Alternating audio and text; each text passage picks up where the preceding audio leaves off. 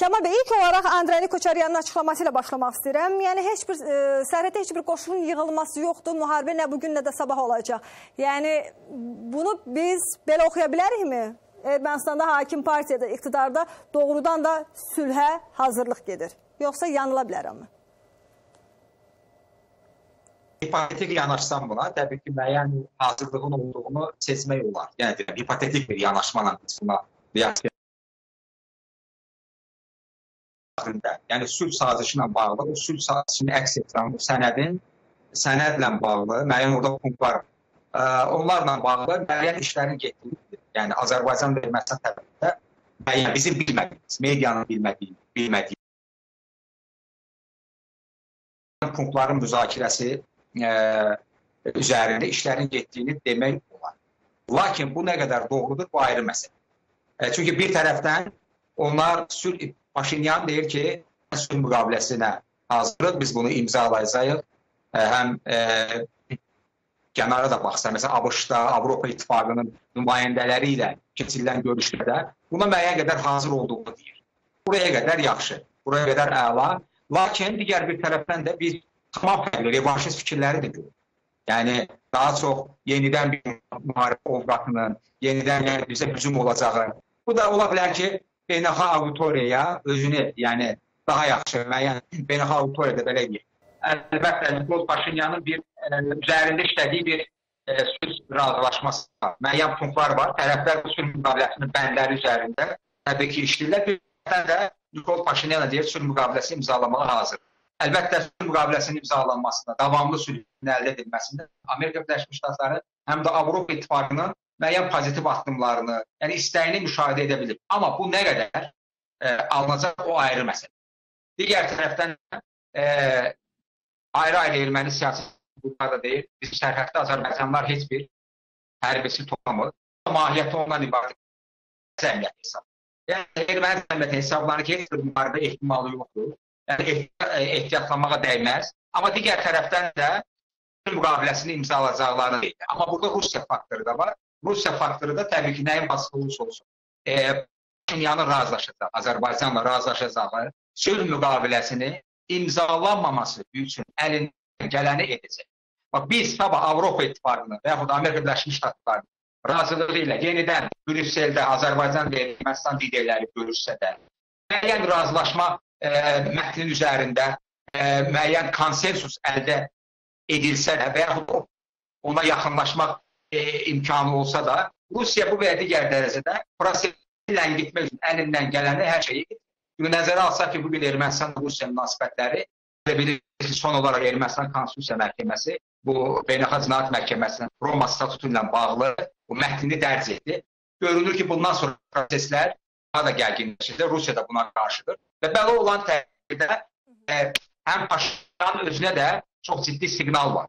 Və mən bir daha təkrar edirəm, hətta Nikol Paşinyanın çevrilişinə hazırlıq və çevrilişinin zəhdi də biz görə bilərik. Son bu Konstitusiya Məhkəməsinin bu Çevriliş məsələsini mən e, sizdən daha geniş şəkildə alacağam. E, Konstitusiya Məhkəməsi bu qərarın mətnini dərc etdi, vurğuladı. Ardınca isə hakim partiyadan açıqlama gəldi ki, yaxşısı olaraq Putin İrəvana gəlməsin, gəlsə, ya biz qərara uyğun olaraq həbs edəcəyik. Bunu bildiyinə görə Rusiya prezidentinin səfərini gözləməyə bilərik. Yəni bu hakim partiyadan gələn bir açıqlamadır, bir münasibətdir. Artıq dövlətin mövqeyini əks etdirir bir növ həm də deyə bilərik. Ya bu çevriliş planı necə işləyəcək sizcə? Yeah.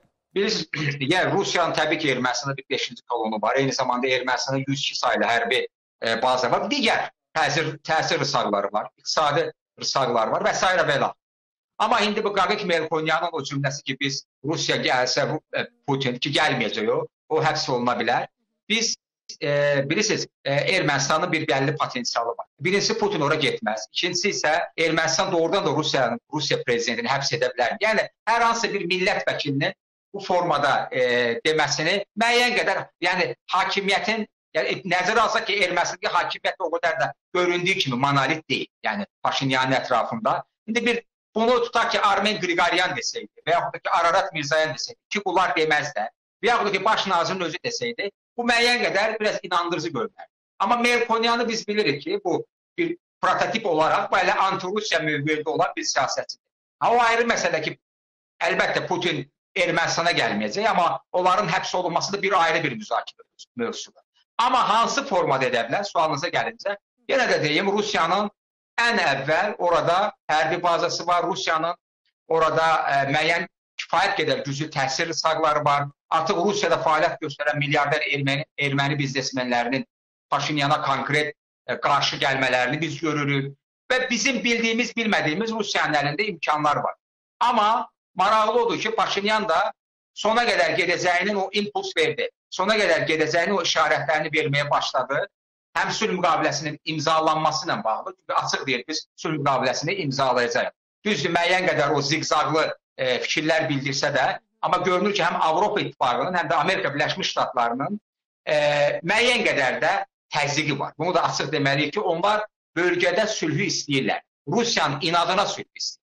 Rusiyanın bölgədən çıxıb getməsi üçün hətta Dağlıq Qarabağ bölgəsinin də status məsələsində e, yəni orada Rusiyanın istədiyi muxtariyyət deyil, Azərbaycanın qanunları çərçivəsində, Azərbaycanın yurisdiksiyası çərçivəsində Azərbaycan tərəfinin istədiyi reinteqrasiya prosesinə uyğun olaraq bu problemin həllində biz qərbdən gələn pozitiv siqnalları görə bilərik. Amma Rusiya buna hansı cavabı verəcək? Bu ayrı müzakirə mövzusudur. İndi Rusiya prezidentinin ratifikasiya, Beynəlxalq Cinayət Məhkəməsinin qanunun ratifikasiyası bunlar ayrı müzakirə mövzuları. Amma nəzərə almalıyıq ki, e, Rusiyanın Ermənistanda təsir mexanizmi, təsir rıçaqları kifayət qədər güclüdür. Amma eyni zamanda da Paşinyan da bu reallıqları da bilir. Çünki dövlət çevrilişi ehtimalı, mən bunu dəfələrlə efirinizdən deyirəm. Hər an Nikol Paşinyana qarşı bir sui-qəsd ola bilər. Hər hansısa bir yenidən onun 2018-ci ildə hakimiyyətə gələndə məxməri inqilaba bənzər bir küçə yürüyüşləri, bir etiraz və s. ola bilər. O nə zaman ola bilər? Paşinyan artıq konkret olaraq Qarabağ Azərbaycanın tərkib hissəsi tanıyacaqsa və bu problemin yekun artıq e, final həllini nəzərdə tutan sənədi imzalayacaqsa, əlbəttə ki, ondan sonra bu plan həyata keçəcək. Amma Rusiyada yenə də deyirəm, Rusiyada həmin o mərhələni gözləyir. Əvvəlcə iqtisadi rısaqlar, iqtisadi təzyiq metodları işə düşəcək. Daha sonra isə Ermənistan cəmiyyətində hələ ki ermənilərin o qırmızı xətt kimi qəbul etdiyi Qarabağ məsələsində Paşinyan biraz da irəli gedərsə və e, sülh sazişi imzalanmağa istəyili görərsə, əlbəttə bu plan həyata keçə bilər. Bu sui-qəsd formasında da ola bilər, bu e, kütləvi etirazlar formasında da ola bilər. Bunu müxtəlif şəkildə fərz etmək olar. Amma yenə deyirəm, son hadisələrdən sonra belə demək olar ki, sadəcə olaraq mən Melkonyanın fikrinə görə demirəm.